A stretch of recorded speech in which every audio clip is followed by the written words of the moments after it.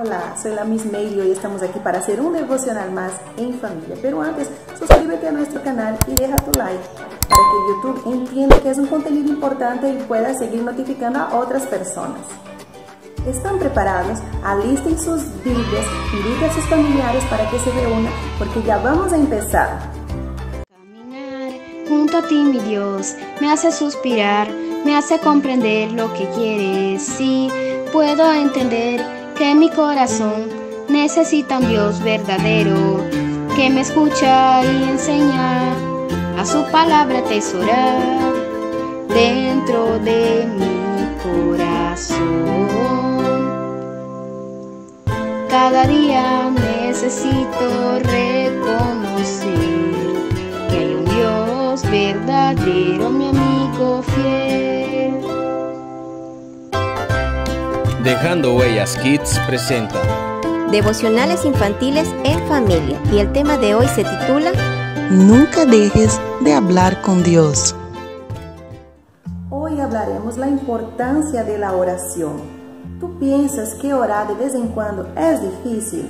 Quizás no sepas qué decir o cómo decir. Quizás tengas miedo de equivocarte la buena noticia es que orar no es difícil, no existe una sola manera de orar. Orar es simplemente hablar con Dios. En algunas oraciones estamos serios. En otras bajamos nuestra cabeza y cerramos los ojos. Hay veces oramos tristes porque contamos al Señor cosas que lastiman el corazón. Hay veces nos sentamos para orar. En algunos casos pedimos que Dios ayude a los que pasan por necesidades. Para esa clase de oración puedes arrodillarte y levantar tus manos hacia el cielo. Algunas oraciones sirven para agradecer a Dios por todo lo que Él hace. En estas oraciones puede ser que tengas deseo de cantar alabanzas al Señor. Hay oraciones que ni siquiera se parece a una oración porque en ellas apenas hablamos con Dios.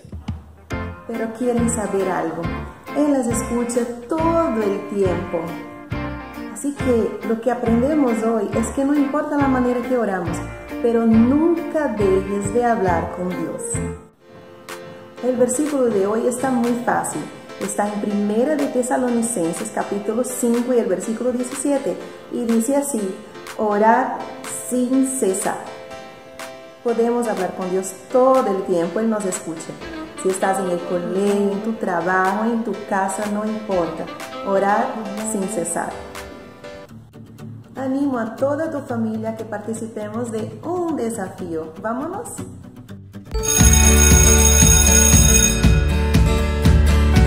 Desafío semanal desafiamos durante toda esta semana hacer la oración con todos tus deditos.